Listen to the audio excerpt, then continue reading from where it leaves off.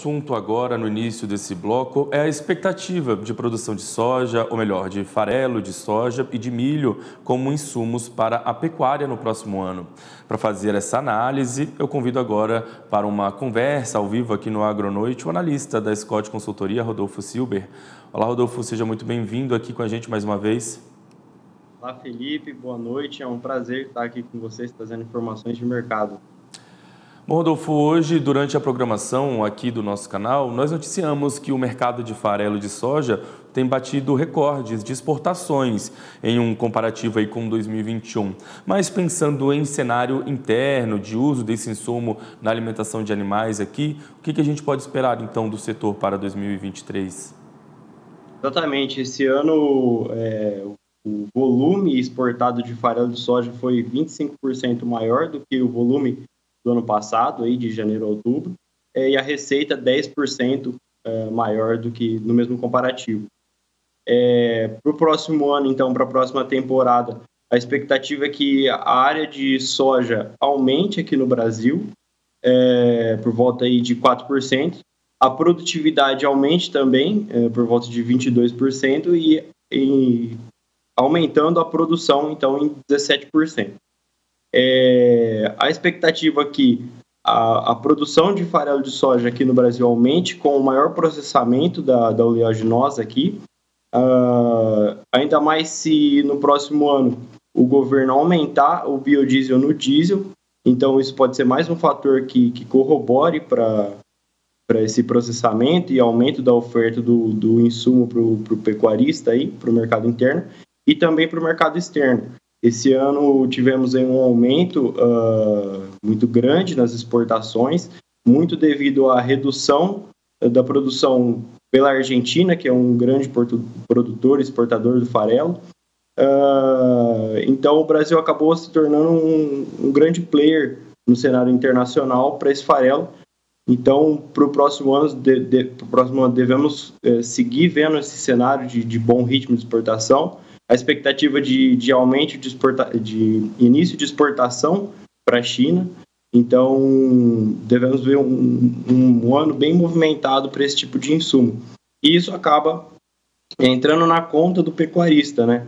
O pecuarista que, que precisa desse insumo para tratar o, o gado, é, ele acaba tendo que, que, que estar junto uh, desses outros mercados para adquirir esse produto que pode acabar aí aumentando a concorrência. Como você estava falando, então a gente é, tem um efeito em cadeia, né? Dentro dessa cadeia da soja, se aumenta lá o biodiesel, acaba influenciando diretamente aqui no farelo de soja, então está tudo interligado, né? Isso, exatamente. E também os fatores externos, né? Uma produção menor da Argentina acaba influenciando aqui a gente no, no Brasil. Então é uma cadeia bem grande, uma cadeia bem interligada é, que qualquer fator aí acaba é, mexendo nesse mercado, né?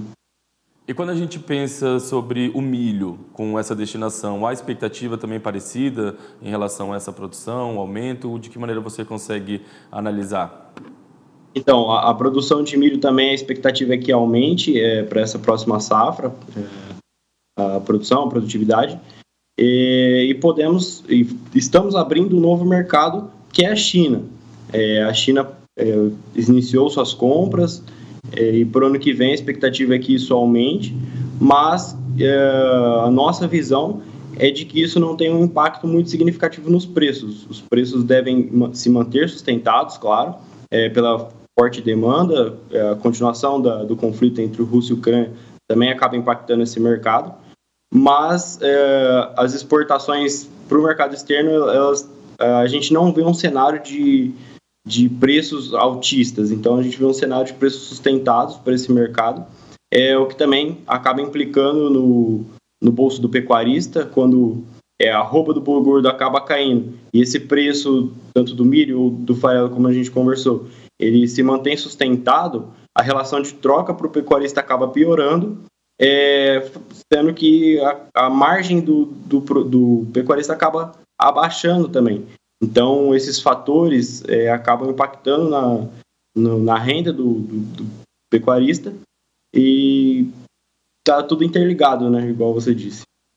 Pois é, Rodolfo. Agora, qual é o panorama atual dessa produção para o abastecimento do mercado interno? A gente hoje é autossuficiente nesses insumos ou a gente ainda precisa importar de países, como você disse, Argentina, Estados Unidos? É, hoje o Brasil ele é exportador tanto do, do farelo de soja quanto do milho. A importação ela não é muito é, significativa, é, o milho, esse ano, a gente teve um, um volume muito, muito bom exportado. É, houve um aumento de 115% frente ao a janeiro, outubro do ano passado, e um faturamento de 203% maior. É, isso para, para o milho.